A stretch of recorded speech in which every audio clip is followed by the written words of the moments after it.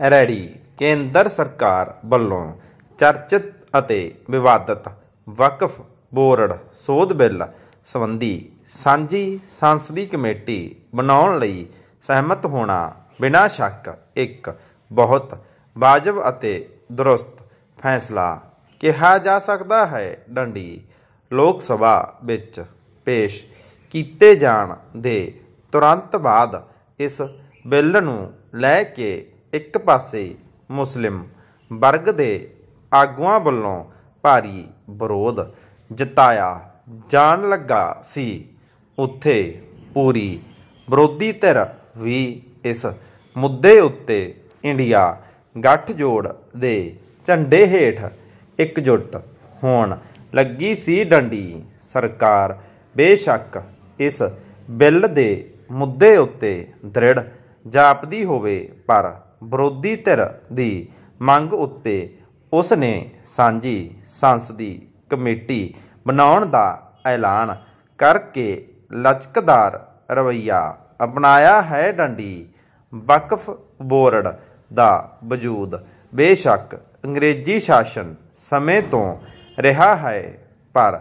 ਇਸ ਨੂੰ ਕਾਨੂੰਨੀ ਦਰਜਾ ਆਜ਼ਾਦੀ ਮਿਲਣ ਤੋਂ ਬਾਅਦ 1954 ਵਿੱਚ ਤਤਕਾਲੀ ਪ੍ਰਧਾਨ ਮੰਤਰੀ ਜਵਾਹਰ ਲਾਲ ਨਹਿਰੂ ਦੀ ਸਰਕਾਰ ਸਮੇਂ ਮਿਲਿਆ ਸੀ ਡੰਡੀ। ਬਿਨਾਂ ਸ਼ੱਕ ਖੁਦਾ ਦੇ ਨਾਂ ਉੱਤੇ ਦਿੱਤੀਆਂ ਜਾਣ ਵਾਲੀਆਂ ਜਾਇਦਾਦਾਂ ਸੰਪਤੀਆਂ ਨੂੰ ਕੇਂਦਰ ਵਿੱਚ ਰੱਖ ਕੇ ਬਣਾਇਆ ਗਿਆ ਵਕਫ ਸ਼ੁਰੂ ਸ਼ੁਰੂ ਵਿੱਚ ਇਸਲਾਮ ਨਾਲ ਜੁੜੇ ਗਰੀਬ ਅਤੇ ਆਮ ਲੋਕਾਂ ਦੀ ਭਲਾਈ ਲਈ ਵਰਤਨ ਲਈ ਤਤਪਰ ਰਿਹਾ ਹੈ। ਸਮੇਂ ਨਾਲ ਇਸ ਵਿੱਚ ਅਨੇਕਾਂ ਦੋਸ਼ ਅਤੇ ਖਾਮੀਆਂ ਪੈਦਾ ਹੋਣ ਲੱਗੀਆਂ ਸਨ। ਡੰਡੀ ਸਾਰੇ ਮੁਸਲਿਮ ਭਾਈਚਾਰੇ ਦੇ ਪਛੜੇਪਣ ਨੂੰ ਦੂਰ ਕਰਨ ਸਮਾਜ ਵਿੱਚ ਸਿੱਖਿਆ ਦਾ ਚਾਨਣ ਫੈਲਾਉਣ ਅਤੇ ਉਹਨਾਂ ਦੀ ਗਰੀਬੀ ਦੂਰ ਕਰਨ ਅਤੇ ਖਾਸ ਤੌਰ ਉੱਤੇ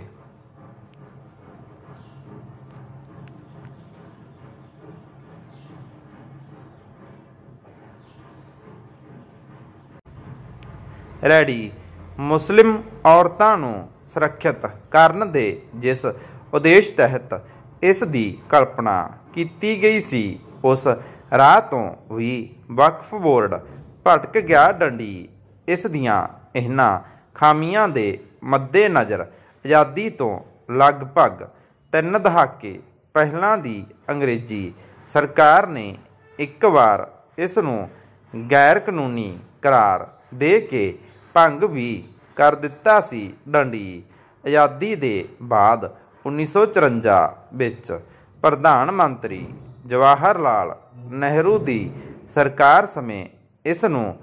ਫਿਰ ਪਾਸ ਕੀਤਾ ਗਿਆ, ਪਰ ਹੌਲੀ-ਹੌਲੀ ਇਸ ਨੂੰ ਲੈ ਕੇ ਇੰਨੀਆਂ ਸ਼ਿਕਾਇਤਾਂ ਆਉਣ ਲੱਗੀਆਂ ਕਿ ਉਹ ਆਪਣੇ ਆਪ ਵਿੱਚ ਬਹੁਤ ਸਾਰੇ ਵਿਵਾਦਾਂ ਵਿੱਚ